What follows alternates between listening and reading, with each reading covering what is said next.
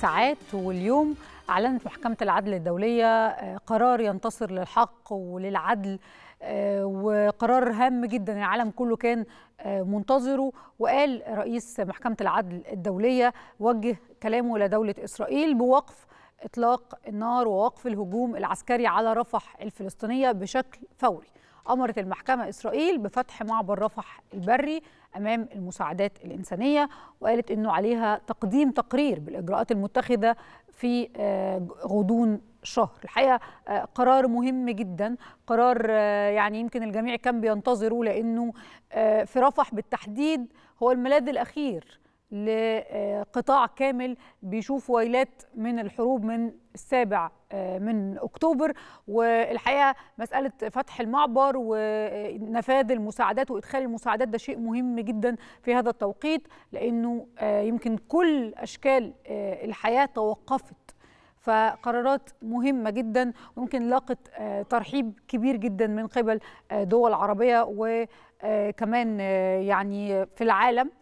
والحقيقة إنه الدور المصري هنا في دعم جنوب إفريقيا في دعوتها ضد جيش الاحتلال لعب دور كبير دور دبلوماسي كبير بالتنسيق مع جنوب إفريقيا بالضغط على المجتمع الدولي لإدانة إسرائيل أمام العالم.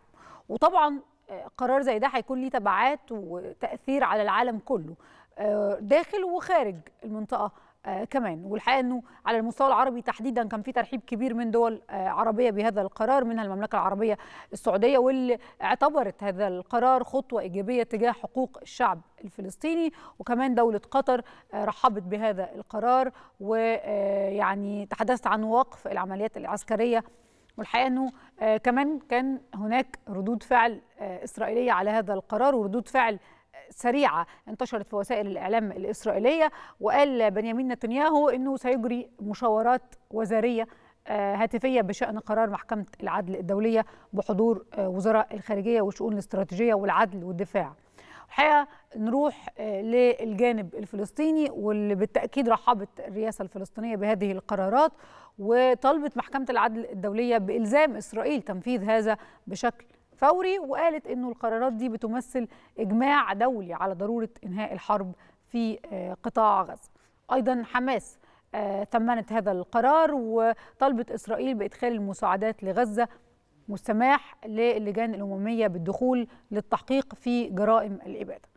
الحقيقة إنه جمهورية مصر العربية بالتحديد في بيان صادر عن وزارة الخارجية قالت إنه إسرائيل ضرورة إنها تمثل لكل التزاماتها القانونية في إطار اتفاقية منع جريمة الإبادة الجماعية والمعاقبة عليها والقانون الدولي الإنساني وتنفيذ كافة التدابير المؤقتة الصادرة عن محكمة العدل الدولي. الحقيقة ده انتصار للحق يسجل لمحكمة العدل الدولية في توقيت مهم جدا يعني تعترف به الدول بدولة فلسطين تزامنا مع هذا القرار من محكمة العدل الدولية فصل جديد ومهم في مرحلة كفاح الشعب الفلسطيني نحو الحصول على حقوقه المشروعة انتصار الحق الفلسطيني الحقيقة في توقيت هام جدا.